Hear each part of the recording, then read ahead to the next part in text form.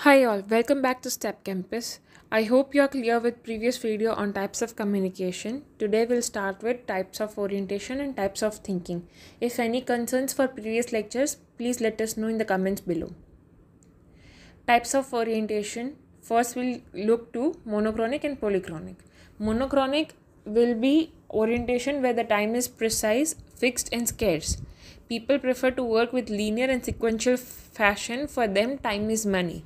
So, if their time is for 8 hours, they'll complete the work in 8 hours and they'll keep their personal and professional life different.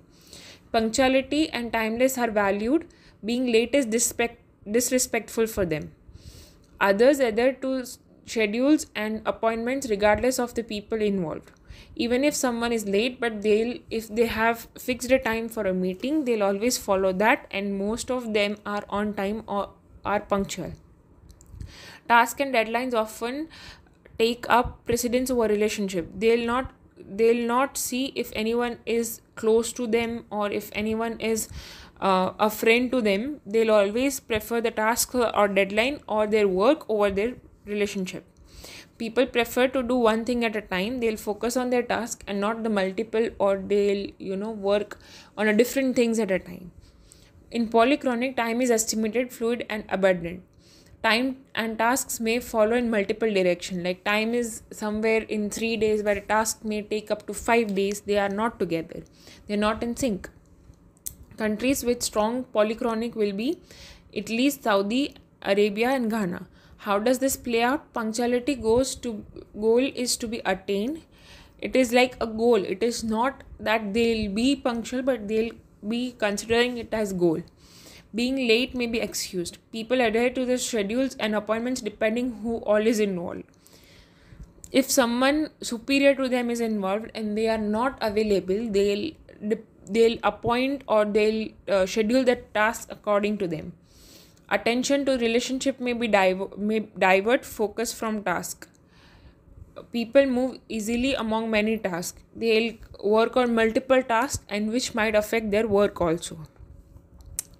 Task oriented and relationship oriented task oriented is these types of culture focus on doing rather than focus on being. People approach job at the hand and focus on goals roles structure and outcomes. Whatever task they are given they'll focus or approach on that they'll see to it that the goals are attained their roles and structures and outcomes are as per the requirement. Building relationships occurs through execution of work. They'll not have someone from their team who they already know but they'll come to know or they get along with people around them when they work. Countries which follow this are USA, UK, Netherlands. How does this play out? Is tasks and uh, procedures, plans, and agendas are explicitly written and followed. Whatever they have mentioned or their routine is, they'll follow that. Trust will build over the work. Like once the work is started, once they join the team, they'll start trusting on them as per the flow. Roles and responsibilities may change over time. Work and personal lives are separate they'll maintain a different personal life and different professional life. They'll not include both together. Relationship is like focusing on the being and not focusing on the doing like task oriented. People are concerned with developing relationship and the communication. Here people will focus on their relationships how to build a relationship how to get close to someone. Tasks get accomplished through the relationships whereas there in the task oriented building relationships occur through execution of the work. Countries with relationship oriented are china mexico nigeria. How does this play out is social is the means to get know people before the work begin. They'll uh, go through their relationships or they'll go through their colleagues or friends or someone who already is present in their team and then they'll ask for a position there trust and uh, trust is essential for initial collaboration. Roles and responsibilities are often clear, defined, and fired. Work and work and personal lives will overlap. They'll not follow a particular uh, schedule, but they'll mix both. They'll not have a line between them. Now, coming to types of thinking, it follows a logical. There are two types of thinking linear thinking and systematic or holistic thinking. Linear thinking it follows a logical sequence consisting of discrete, detailed, like they'll have a logical sequence beginning, middle, and end. There will be a proper flow which will be followed. Countries which uh, follow this are USA, Australia, and Switzerland. How does this play out? Is plans and procedures, schedules, and agendas are uh, discussed pre- before the meetings they have a systematic flow and which will be followed and it will be written in a linear format. There is a strong preference for conducting discussions and executing tasks step by step fashion.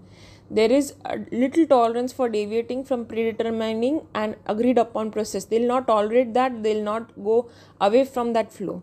Whereas in systematic or holistic thinking the picture is created by collecting the elements or interconnecting with it, each other. People are concerned with developing the relationship and the communications. Tasks get accomplished through the relationship. Like if you know someone your task will be completed faster than someone who does not know that person.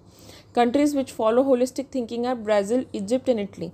How does this play out is there are initial plans and procedures which are schedules and are created but they are not followed. They are often change mid course okay? So the circumstances change the environment change and then the plans have been changed. Resistant to follow step by step procedures allows for flexibility and creativity.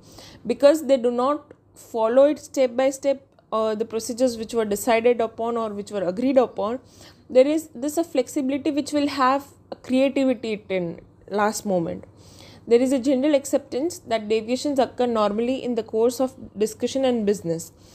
Uh, while uh, working upon something, if there is some deviations coming in between, and this, or you have changed the uh, flow of the process, this is generally accepted